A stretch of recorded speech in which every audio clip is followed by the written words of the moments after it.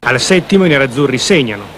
Matteoli si libera in dribbling e centra in area. Bergami, lasciato libero da Giunta, batte a rete con un colpo di testa imparabile 1-0.